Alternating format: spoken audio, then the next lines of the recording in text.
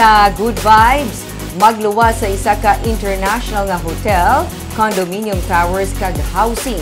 Pagasugura na naman sa Cebu Landmasters Incorporated ang bago nga condo tower sa Bacolod City. May report si Romeo Subaldo. Kung nakalabay ka sa Lacson Street sa Bacolod, nakita mo na ining mga agaw at tensyon nga matag-as ka mga building. Ang nagatubang sa dalan amo ang Citadines, isa ka international nga hotel nga magabukas sa Marson nga tuig. Sa tupad sini, ang tatlo ka mga towers sang Misaviri nga nagasugod na sa pag-turnover sa mga tag-iya.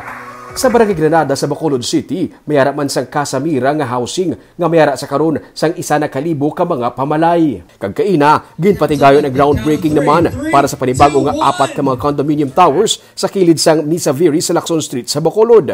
Initanan, himo sang leading developer sa Visayas kag Mindanao nga si Buland Masters Incorporated. Sunod sa Executive Vice President kag Chief Operations Officer sang CLI nga si Jose Franco Soberano. Lima tanan ka mga proyekto ang ilan napatukod sa Bacolod sa sulod sang lima man ka tuig. Mga 8 billion pesos na tanan ang gininvest nila sa Bacolod City. Not stop there with a three-tower condo. We launched one of Bacolod's first international hotel brands with Citadines. And you can see it there rising up into your skyline, very beautiful, fronting your highway.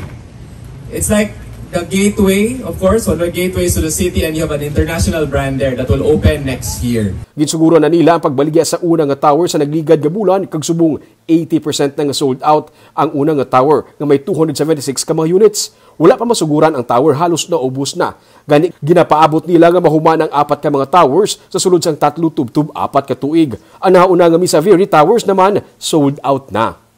And now, we're bringing to you our best-selling brand. Already in Cebu, Mandaue, Cagayan de Oro, Iloilo, Ormoc, Palawan, and of course here in Bacolod. Ginakabig naman ni Mayor Evelio Leonardia nga patimaan na ini sa pag-recover sa syudad sa pandemic. having this today for me is more than just a simple indicator that indeed we are on the road to that. And Joe, thank you for making it so for the whole.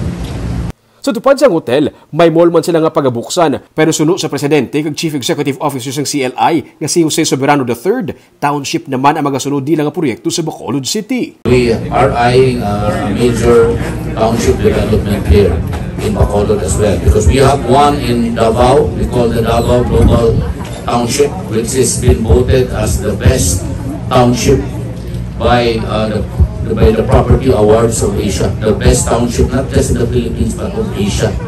Ang Bacolod City ang ikaduha nga lugar sa guwa sa Cebu kung sa diin nag-invest ang CLI.